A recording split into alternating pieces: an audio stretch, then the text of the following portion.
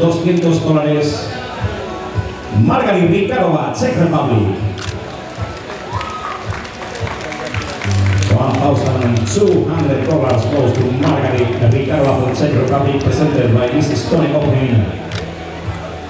And Mr. Ramos.